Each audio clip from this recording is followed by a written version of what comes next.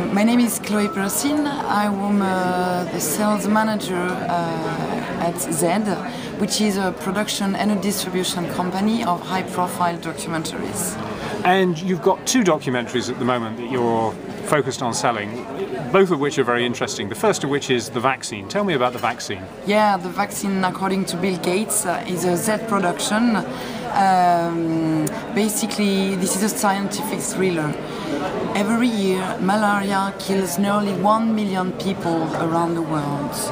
Scientists have been um, doing research for more than 50 years now.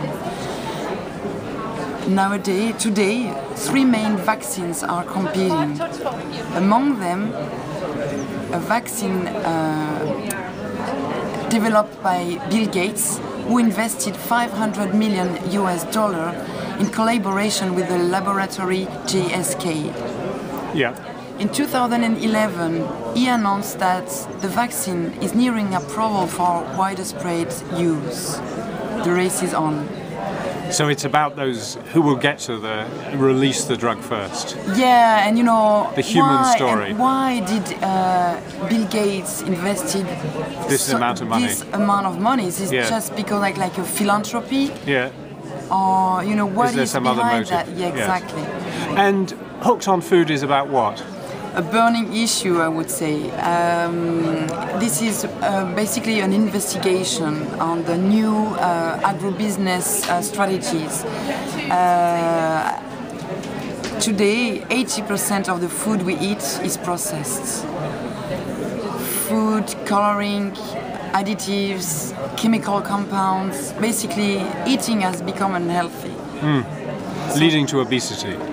yeah. Uh, but yeah, also, but Yeah. not only. But in how come we can get hooked Yes. on their products? Yeah. Fat, sugar. What are their strategies? Why will we buy this their products and not one of the, their competitors?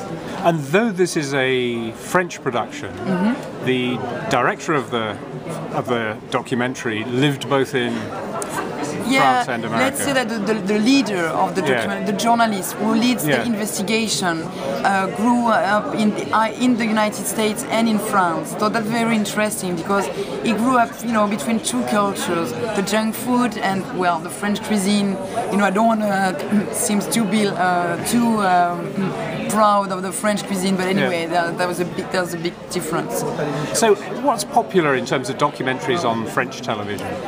Well, uh, as you may know, uh, France is uh, the country of the documentary.